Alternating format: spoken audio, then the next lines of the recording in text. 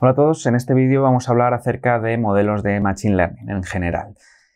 Soy Rafael Zambrano, ingeniero de telecomunicaciones, científico de datos, llevo varios años trabajando en el mundo de la ciencia de los datos, lo que más me gusta es su gran aplicabilidad y me entusiasma poder compartir todo lo que voy aprendiendo.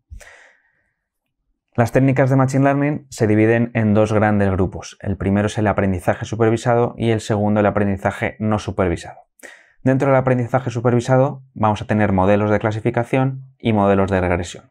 En los modelos de clasificación lo que pretendemos es clasificar eh, diferentes categorías. Por ejemplo, eh, imaginad que tenemos una serie de personas de las cuales tenemos su peso y su altura y queremos clasificarlas en adultos o niños. Pues lo que va a hacer un modelo es aprender dónde están estos puntos y crear un clasificador que para nuevos datos de entrada consiga segmentarlos correctamente. Por otro lado, la regresión lo que intenta es predecir el valor de una variable que es continua. En este ejemplo, intentamos predecir el beneficio en función de la inversión que se ha realizado. Tenemos unos datos de entrenamiento y lo que se busca es buscar una función que represente esos datos y consiga generalizar correctamente para datos nuevos. Por otro lado, en el aprendizaje no supervisado se basa principalmente en algoritmos de agrupación o clustering, en el que los datos no tienen etiquetas, no sabemos eh, a qué categoría pertenecen y lo que hace el algoritmo es intentar buscar agrupaciones en los datos de forma que cree grupos con características parecidas. Si os fijáis, estos puntos son los mismos que los de la clasificación, pero no sabemos si se trata de adultos o niños. Es el propio algoritmo el que va a identificar que hay dos grupos y vamos a tener que ser nosotros los que interpretemos los resultados y decir, vale, pues este grupo son los niños y este grupo son los adultos, pero no lo sabemos a priori. ¿Qué algoritmos de Machine Learning existen? Pues tenemos bastantes, ¿vale? Desde los más básicos como son la regresión lineal la regresión logística, los árboles de decisión, los árboles de decisión agrupados eh, en forma de random forest o gradient boosting, es bastante conocido el XGBoost, algoritmos de detección de anomalías como el Isolation Forest, redes neuronales, support vector machines, algoritmos de agrupación como el Camins, etc. Al final la idea de desarrollar un modelo la podemos definir en seis pasos. El primero, y tal vez el más importante, es entender y definir el problema. Saber cuál es tu público objetivo y qué variable quieres predecir. Saber qué datos tienes disponibles y si lo estarán disponibles a la hora de ejecutar el modelo saber qué tipo de problema es, es un problema de regresión, clasificación, agrupación y sobre todo saber si vamos a poder darle una aplicación.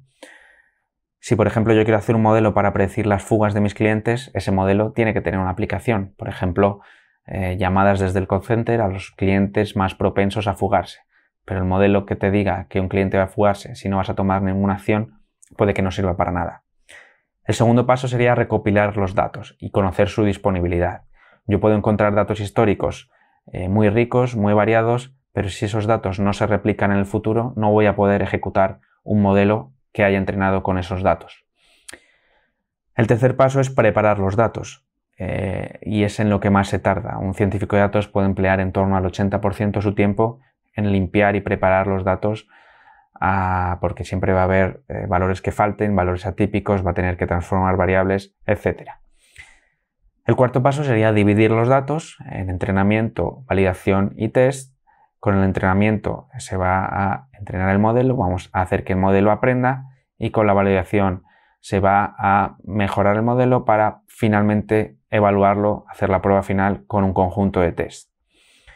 El quinto paso sería entrenar ese modelo, que puede ser uno o varios modelos, y por último medir el desempeño de estos modelos y elegir el mejor. Al final el ciclo de un modelo de Machine Learning es este que vemos a la derecha. Vamos a tener nuestros datos ya limpios y vamos a entrenar un modelo que va a tener ciertos parámetros. En este ejemplo, A, B, C, etc. La primera predicción que va a hacer el modelo va a tener un error grande, ¿vale? Vamos a tener siempre una función de error que vamos a querer optimizar. Y al final lo que tenemos es un ciclo.